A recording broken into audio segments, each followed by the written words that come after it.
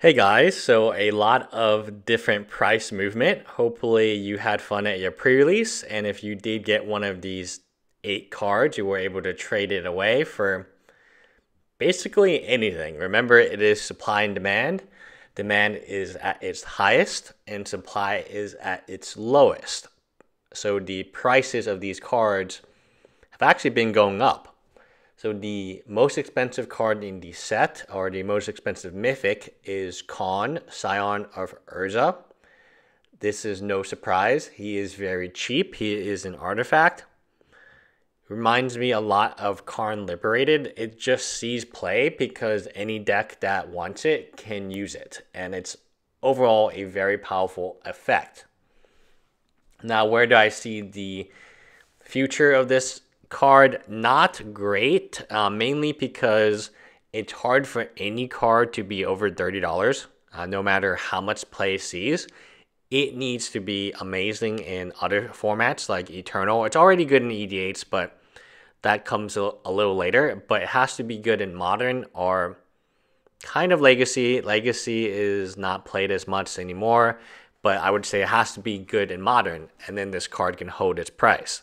But even Liliana of the Last Hope, which was seeing play modern in the Death Shadow deck, which was the number one deck at the time, it barely held its price. All right, Mox Amber. A lot of people are down on this card. They don't really see the utility of it. Any Mox is going to be good, and I'll just put it that way. It has it comes in a little bit slower than most moxes. I mean, the whole point of a mox is it comes in fast and you can accelerate. But for EDH, when you have something like this, it will be an EDH staple. The foil price, as you can see, is $130. I don't expect that to hold at all. I don't expect. So, Karn, if things go correctly for him, he should be able to stabilize. This card is not going to. I see it plummeting in price, especially the foils. There's just very little supply right now, and people are hyped and they want to buy the card now, now, now, now. So, delayed gratification. If you can wait a little bit of time, this card should be much cheaper. It is also a legendary artifact, so unlike the other moxes, you can play them in multiples. It's good though. All right, so this one, History of Benalia. I did talk about this in a previous video, and I said it was a very good card to pick up at the price point, which I think was $5 at the time. It is 17 It's very good. You can go back and watch the old video. Nothing has nothing in my analysis has changed in this card.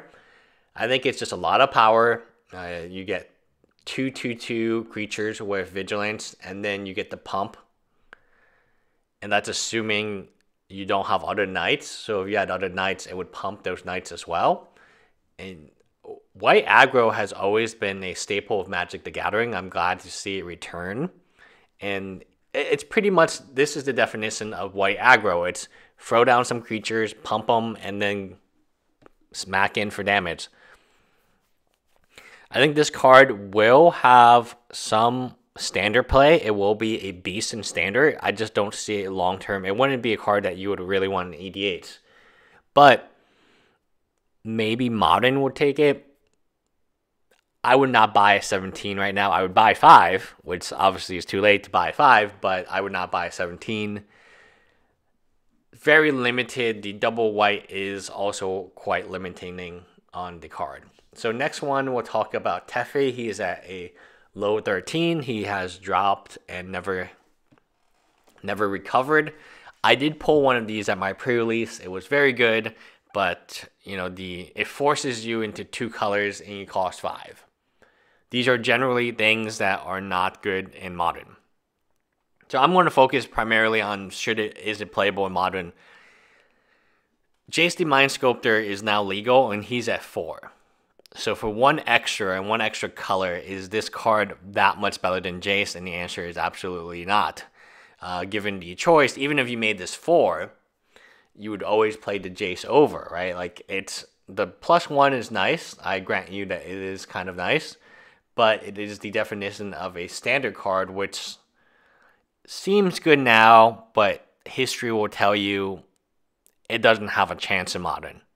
As a five mana, two color planeswalker, man, it, you're not looking at too many of them uh, being playable, especially in blue. Uh, when with the Mind Sculptor banned. Now let me talk about Jace. The Mind Sculptor, I think is a good time to buy him, just as a small side. Maybe I'll make a longer video, but the analytics tells me it's a good time. So next we have Lyra Dawnbringer. Very, this is like a Baneslayer angel that is, depending on how many other angels you have, that may be actually better than Baneslayer angel. And now we know Baneslayer angel is very good. It does have the protection from demons and dragons. This does not, but this has a pump ability. I think it's fantastic. Um, it definitely is going to see play in EDH. You can see the foil multiplier is over four. And Mythic Angels always, for the most part, hold value. I know Akroma has been hit Akroma has been reprinted into Oblivion recently, so she has not held her value. Plus, she has not aged well in terms of how strong. I mean, back in my day, you get the Akroma out, you win the game. And even if it costs 8, that was the game ender. But now, like, it's not even that impressive compared to some creatures we have at 8. Lyra is just the increasing of power it's the definition of power creep because before we just had Serra Angel, which was a 4 4 flying lifelink, and that was considered very good. Now we throw a bunch of abilities on her. Okay, and we have Muldrotha, the Gravetide. This is a very spicy commander.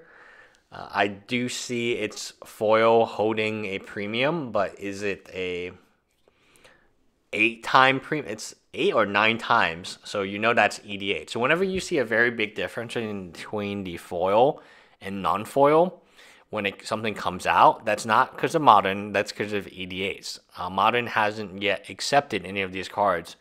Now, what percentage of these cards that I'm showing you right now of the eight mythics will be accepted in modern? I don't think any of them have a chance. Uh, I personally think Con is 50 50. But when you go down to Mox Amber, it's kind of slow. We go down to this one, it's just an EDH card. Uh, the majority of cards will never see modern play, like real modern play.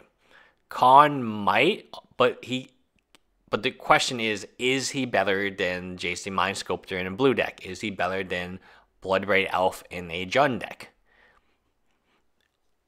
I don't know. I, I, I don't assume he is because he seems very niche. Um, good, great card, very powered, powered. But when you go to something modern, you have to compare it to so many different sets, and that's why it's difficult. All right, so two cards left. We have Jaya Ballard, and this is triple red. This is an interesting spec because he's going to fall very low soon. Once these other cards like Karn and even that EDH beast that we just saw, they will hold price. This one will not. And she could be 250 and might be interesting buy. The triple red is very limiting, and the fact that she costs 5 makes her not modern playable. With very few exceptions, like Karn Liberated. But Karn Liberated literally is game changing, right? He resets the game. That's one of his abilities. Plus, people playing Karn Liberated are not hoping to get him on turn 7, 8, or 9. They're hoping to accelerate him ideally by, let's see, 7. Yeah, so they can get the Tron lands active. They can get him on turn 3, which is a lot different, right? This card is not going to see any play in the modern formats. It might see some play in EDHs, but it's just not very good. However, here's the big however. Like you always, when you buy something, it's not necessarily how good the card is. It's how it's the price difference, right? If I think this card is actually worth ten dollars, then when it falls to two dollars, I'm willing to buy it, even if it's not Jace the Mind Sculptor at hundred. I think the buy-in will be interesting on the card. It's definitely one to watch. And lastly, number eight, Phyrexian Scriptures. I like these uh, sagas, I do feel like there are ways to abuse them that are not yet known, because uh, maybe they're not printed yet. Like resetting them would be kind of fun.